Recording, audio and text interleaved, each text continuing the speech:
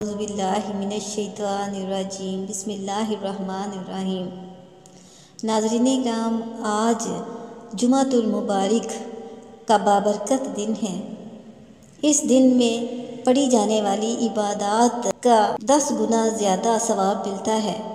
जुमे का दिन अल्लाह के यहाँ मकबूल तरीन दिन है। इस दिन जो भी इबादत की जाती है, इसका अजर और सवाब ज़्यादा मिलता है। आज हम आपके लिए जुमे के दिन का एक ऐसा वजीफ़ा लेकर आए हैं, जो कि अल्लाह पाक के दो बाबरकत नाम या वहाबू या रज़ाकू का वजीफ़ा है। अल्लाह पाक के इन दो बाबरकत नामों को आपने दो, तीन छोटे छोटे वज़ाइफ के साथ मिलाकर पढ़ लेना है। जैसे ही आप इसको पढ़ेंगे तो इन गैब से आपकी मदद होगी। बड़ा पुरतासीर वजीफ़ा है, बड़ा बाबरकत वजीफ़ा है।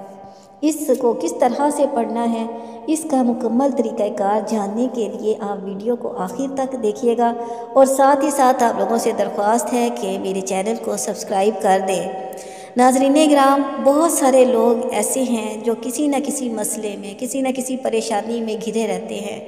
मालो दौलत की तंगी रहती है, काम करते हैं, मेहनत करते हैं, पैसा हाथ नहीं आता। अगर पैसा आ भी जाए तो वो ऐसे खर्च हो जाता है। कि पता भी नहीं चलता कि कैसे पैसा आया, कैसे चला गया। यानी बरकत नाम की चीज़ ही नहीं है, जिसकी वजह से जहनी परेशानियाँ रहती हैं, घर में लड़ाइयाँ रहती हैं।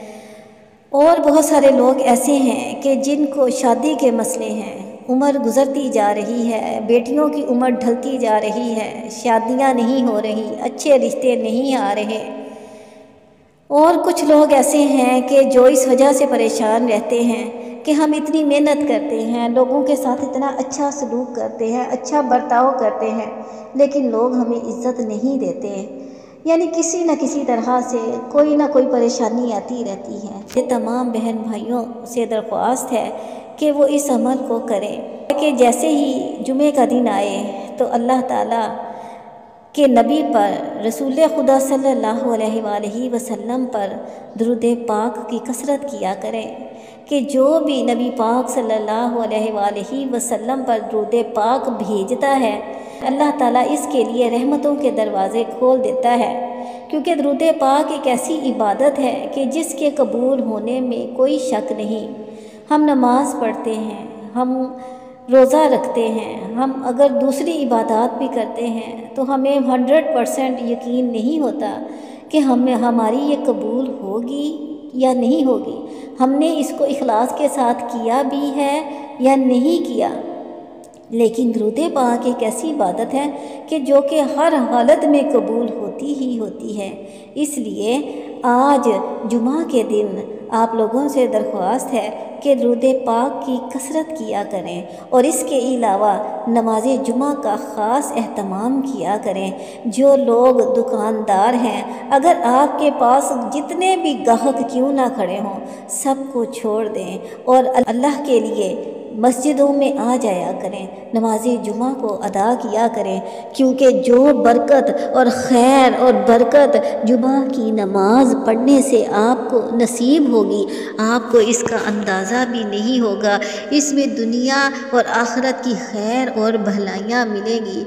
इसलिए आप लोगों से दरख्वास्त है कि आप जुमा के दिन दो काम लाजमी किया करें। एक तो ये कि आप नमाज़ जुमा का अहतमाम किया करें। और दूसरा ये कि आप नबी पाक सल्लल्लाहु अलैहि वसल्लम, जो सरवर कायनात हैं, आखिर नबी हैं, आप सल्लल्लाहु अलैहि वसल्लम की ज़ात अकदस पर दरुद पाक की कसरत किया करें। कम अज़ कम तीन सौ मरतबा तीन तस्बियाँ दरुद पाक की पढ़ने का मामूल बना लिया करें।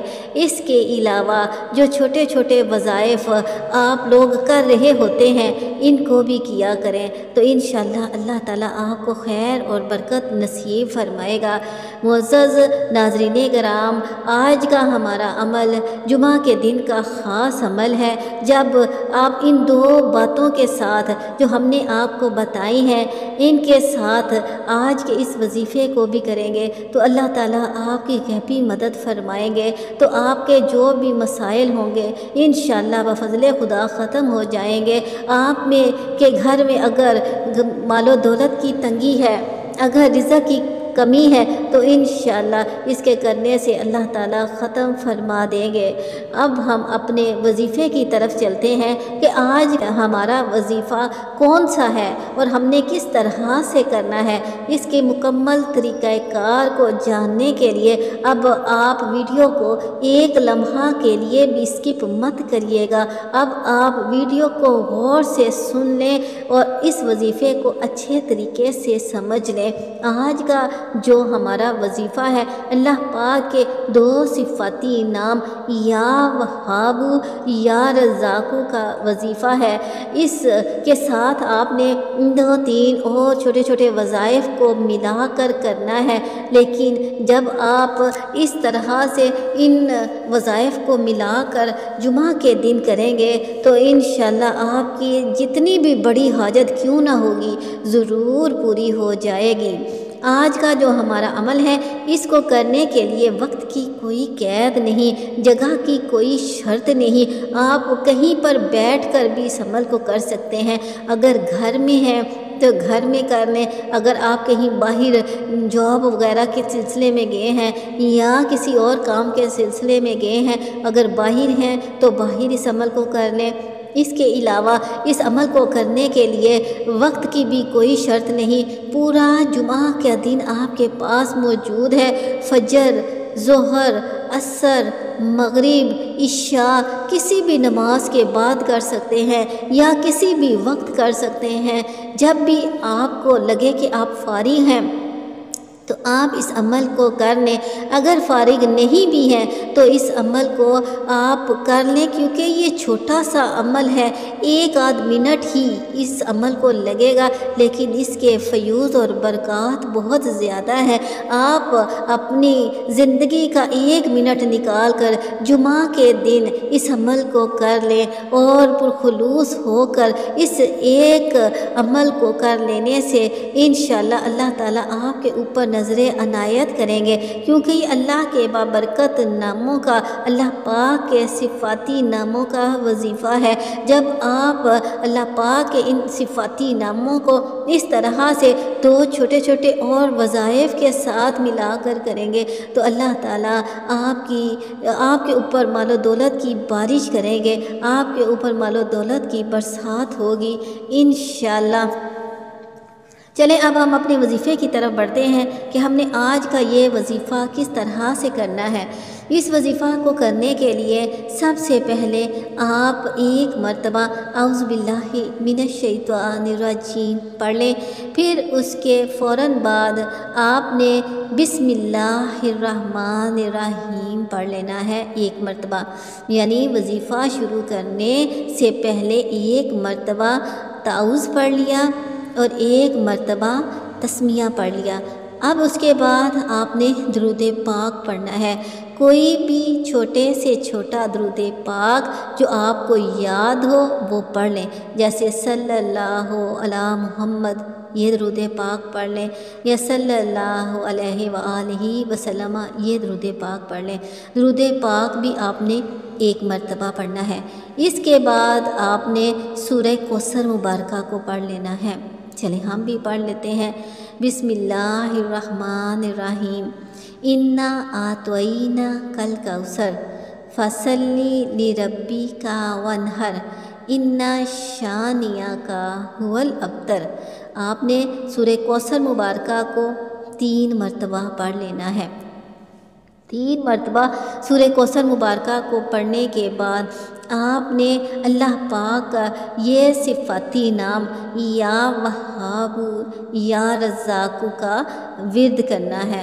अब आपने अपने हाथों में तस्वीर पकड़ लेनी है। अगर आपके पास तस्वीर मौजूद है तो ठीक है। अगर तस्वीर नहीं भी मौजूद तो अपने सीधे हाथ की उंगलियों पर अल्लाह पाक के इन दो सिफाती नामों का ज़िक्र करना शुरू कर दें। अब आपने इस ज़िक्र को को कैसे करना है?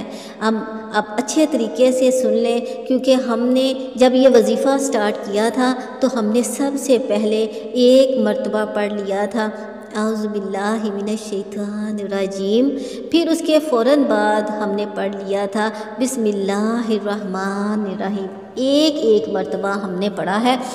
और उसके बाद हमने एक मरतबा ही दरुद पाक पढ़ा है और उसके बाद हमने तीन मरतबा सूर्य कोसर मुबारक को पढ़ा है। अब आपने अपनी जगह से उठना नहीं है, बल्कि वहीं बैठे बैठे अल्लाह पाक के इन दो सफ़ाती नामों, या वहाबू, या रज़ाकू, या वहाबू, या रज़ाकू, या वहाबू, या रज़ाकू को एक सौ मरतबा पढ़ लेना है।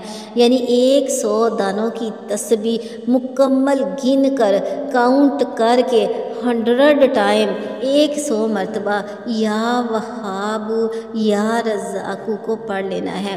तस्बी करते वक़्त आपने अपनी हाजत को जहन में रखना है और अल्लाह ताला के इन दोनों सिफाती नामों का मतलब जहन में रखना है। अल्लाह पाक के इन दोनों सिफाती नामों का मतलब है, या वहाबू का मतलब है, बहुत ज़्यादा अता करने वाले। और या रज़ाकू का मतलब है बहुत ज़्यादा रिज़क देने वाले। अल्लाह ताला के इन दोनों सिफाती नामों का मतलब जहन में रखते हुए, अपनी हाजात का तस्वुर करते हुए आप इस तस्बी को एक सौ मरतबा पढ़ लेंगे। अब आपने आखिर में क्या करना है? आखिर में भी अब आपने वही दरुद पाक पढ़ लेना है जो कि शुरू में पढ़ा था। अब आपने हाथ उठाकर अल्लाह पाक के हजूर दुआ मांगनी है। जुमा का दिन है। जुमा के दिन इन अल्लाह ताला आपकी दुआओं को ज़रूर कबूल फरमाएँगे। दरुद पाक की कसरत करें, नमाज़ जुमा को अदा करें और इस वजीफ़े को लाजमी कर लें। इन आप देखेंगे कि आपके हालात बदलना शुरू हो जाएँगे, आपकी किस्मत, आपकी तकदीर संवरना शुरू हो जाएगी। नाजरीन ग्राम, आखिर में आप लोगों से दरख्वास्त है कि अगर मेरी वीडियो पसंद आए तो मेरे चैनल को लाजमी सब्सक्राइब कर दें और अल्लाह पाक के निन्यानवे बाबरकत नामों में से कोई एक नाम भी कमेंट बॉक्स में तहरीर कर दें। जजा